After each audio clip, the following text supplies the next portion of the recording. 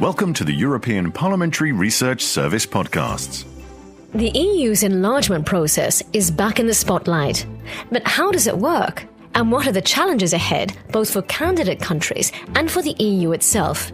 Stay with us, and we'll walk you through the ins and outs of this strategic process. This is a historic moment. The decision is made. Uh, we open negotiations with uh, Ukraine and with Moldova. Uh, we granted status to uh, Georgia, and this uh, decision made by the uh, member states is extremely important for the credibility of the European Union. This was the President of the European Council, Charles Michel, announcing this much awaited decision after the meeting of EU leaders in December 2023. The decision to start accession negotiations with Ukraine and Moldova, as well as to grant candidate status to Georgia, was recommended by the European Commission in November, with strong backing from the European Parliament. During the summit, EU leaders also showed their will to open accession negotiations with Bosnia and Herzegovina, but postponed the decision till March this year. It was a crucial summit for the EU's future enlargement. But let's recap a bit. EU membership is open to any European country that respects the EU's democratic values and meets the political, economic, and other accession criteria to join the club. And the prospect of membership is a powerful stimulus for democratic and economic reforms in the candidate countries. Currently, there are nine recognized candidates.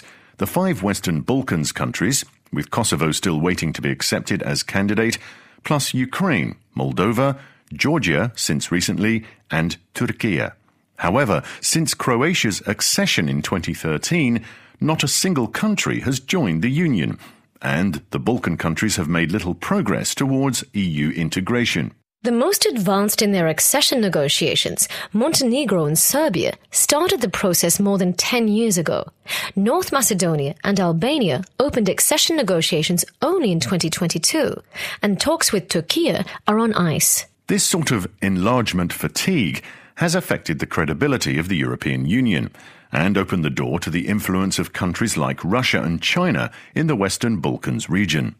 Also, since Ukraine, Moldova, and Georgia asked to join the EU in 2022, the geopolitical dimension of enlargement, which includes security and defense, but also foreign policy alignment, became even more pronounced. So all this led to a fundamental rethinking of enlargement policy. Aware of the risks of inaction and the need to give countries in the Western Balkans a credible EU perspective, the European Commission adopted in 2020 an updated methodology for accession negotiations, making the process less technical and more merit based, with greater political steer and a stronger focus on key reforms. But some think tanks believe this has had no real impact and have made more radical proposals for stage accession. We spoke about this with Michael Emerson from the Centre for European Policy Studies. On the enlargement package of last November, there were two good things, but two buts. It's good to open negotiations with Ukraine and Moldova, but the 50 billion aid package for Ukraine absolutely needs to be passed, without which Ukraine will fail. It was good to see the growth plan initiative for the Western Balkans proposed by the Commission, but this needs to be properly integrated with the formal enlargement methodology. If not, it just means an enhanced association arrangement, not membership. But accession negotiations are not only about candidate countries undertaking the necessary reforms. The EU has its own homework. Stay with us. To expand and still function efficiently, the EU needs to adjust its policies, budget, structure, and the way decisions are taken. And these are serious challenges. New members will mean demand for new resources to cover additional costs, especially for the agricultural and cohesion policies. According to the Council of the EU, the cost of accession of all current candidates over seven years would amount to about 257 billion euros. That is 37 billion euros a year if current rules apply. This would leave less money available for current member states should the rules remain the same. So, to ensure the continuation of EU support for all regions, new and old, new rules will be necessary. Agricultural support is another contentious issue. Here's Antonio Albaladejo Roman from the European Parliamentary Research Service. Agricultural policy represents a third of the EU's budget, so it's always a difficult chapter in enlargement negotiations. It will be no doubt the same in the next enlargement round, especially as concerns Ukraine. But it's too early for predictions, since everything will depend on three things the future shape of EU agricultural policy, its budget, and the conditions of Ukraine's EU membership. Another challenge concerns candidate countries' alignment with EU foreign policy. Here's Jakub Przetachnik from the European Parliamentary Research Service. EU member states have to align with EU statements, take part in EU actions, and apply agreed sanctions. And candidate countries' alignment differ widely.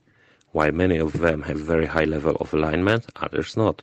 Serbia, for example, has not aligned with majority of EU statements on Russia and Ukraine. In result, overall alignment level was assessed at 51%. This figure is even lower for Turkey, 10%. The security and defense implications of enlargement also need consideration, especially in the light of Russia's war on Ukraine. Very much like NATO's Article 5, the Mutual Defense Clause in Article 42 of the Treaty of the European Union grants a member state victim of armed aggression the right to aid and mutual assistance from all other member states. Securing good neighbourly relations and solving disputes, for instance, between Kosovo and Serbia, and within Bosnia and Herzegovina is also extremely important for accession negotiations to be able to progress. Because ultimately, enlargement is about securing peace, stability, and prosperity in our continent. That's why the European Parliament is such a strong believer in this process and has qualified Ukraine's future membership as an investment in a united and strong Europe.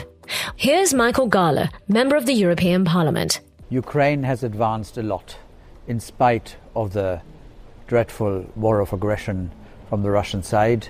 Since the Revolution of Dignity, it has been on this track of reforms, and since it has been made uh, candidate to the European Union, they have further uh, forged ahead and uh, delivered in multifold respects, such as this in the areas of uh, fighting against corruption and rule of law. But enlargement is also about the EU's vision for its future and what kind of global power it aims to be, especially in the context of Russia's war in Ukraine and the shifts in global geopolitical alliances.